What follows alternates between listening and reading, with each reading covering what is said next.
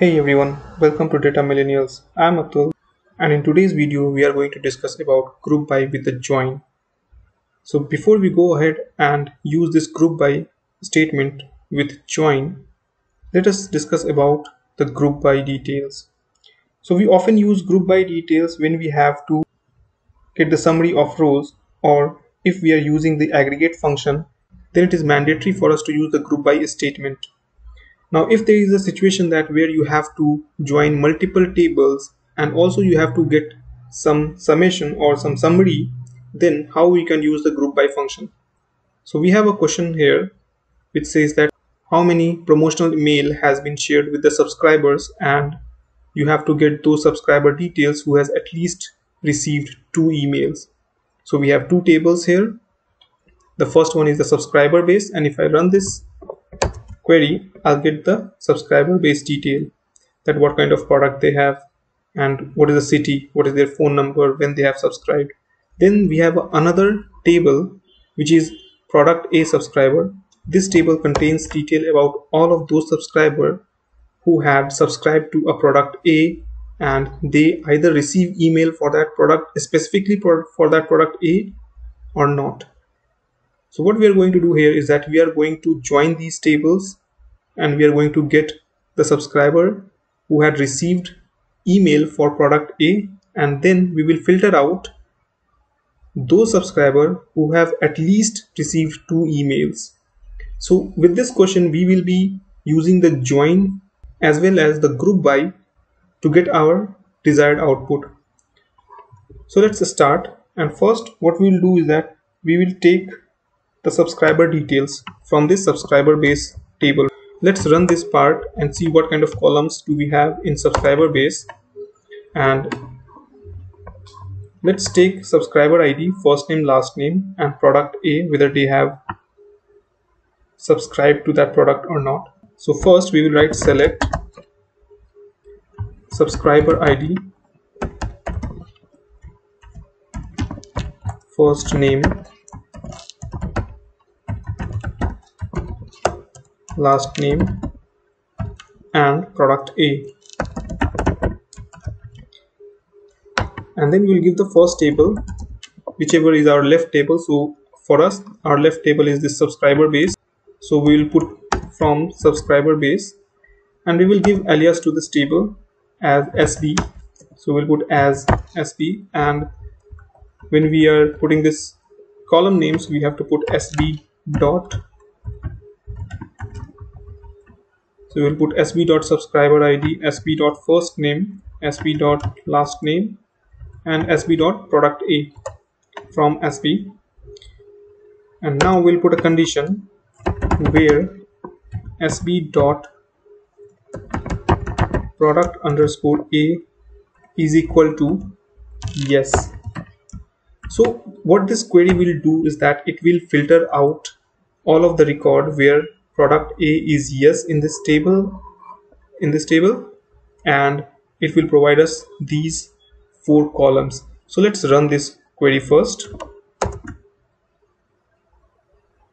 Okay so there is an error is that we have not selected the database name. So let's select this database name here.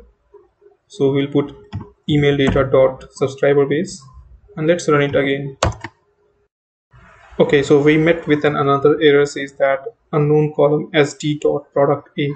And we had kept the alias name as sb so this is a typo error. Let's put sb dot product a and now let's run it. So now we have 72 rows where we have our subscriber id these are the unique subscriber id 72 people. Their first name last name and whether where their product a subscription is equal to yes. And now what we have to do is that we have to join this table with another table which is this product a subscriber. And we have to find out that whether they have received at least two email or not. So i ran this query and i and there are four different columns product type a product subtype subscriber id and promotional mail.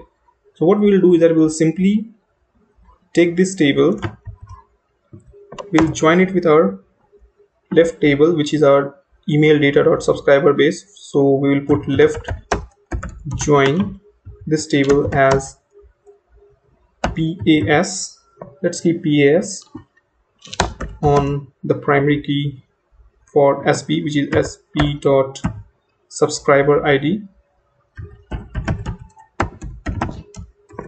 and in our another table which is this one product a subscriber we also have this subscriber ID so I'll put equal to PAS dot subscriber ID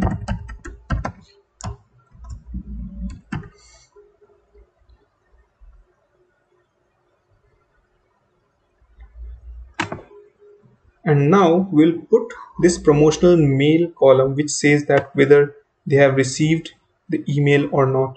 So we'll simply put pas dot promotional mail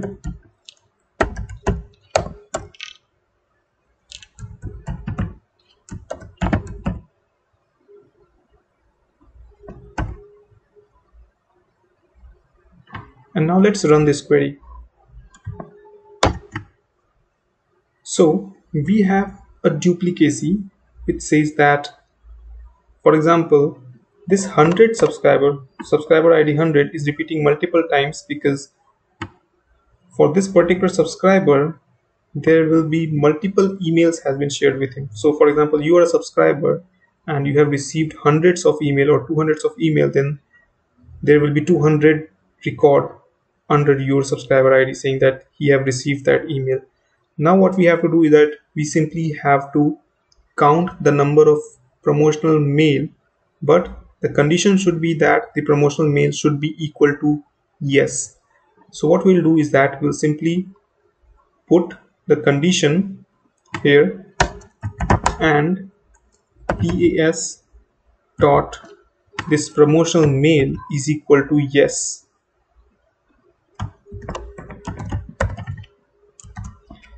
now let's run this query. So we got 537 rows right? Now we have arrived at the last part of this question where we just have to take those subscriber who has at least received two email right? So what we'll do is that we'll simply take this entire query and put it or use it as a view. So we'll put select and then we'll put subscriber id or let's put select star comma count of this promotional mail. And then we'll put from we'll start a bracket we'll put this entire query as a subquery. And then we have to use this group by function right? And we will be using this group by function for these four columns. So we'll put group by 1 comma 2 comma 3 comma 4 and this 1 2 3 4 specifies these columns. So 1 specifies subscriber id 2 specifies first name 3 specifies last name and 4 specifies product a.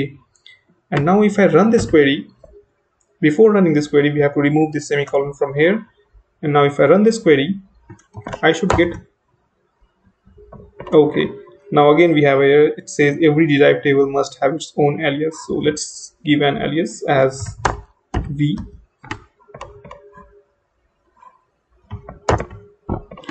Now we have 72 rows and this count of promotional mail gives us how many email that has been sent to this subscriber id and the question says that the user should have at least received two email and now what we can do is that we can simply use the having condition.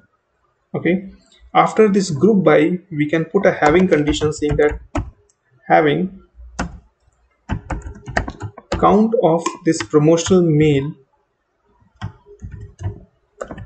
is greater than equal to 2 okay? And now let's run this query.